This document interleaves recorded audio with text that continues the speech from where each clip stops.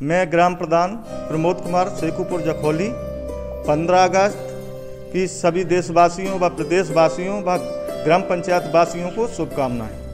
corona महामारी के चल, चलते हुए घर से निकलें, मास्क लगा के